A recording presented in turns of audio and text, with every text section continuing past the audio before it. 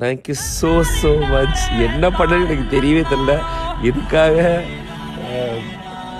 என்ன சொல்கிறது இப்படி நடக்குதுன்னு கூட எனக்கு தெரில thank you so much thank you so much for all your sup support and love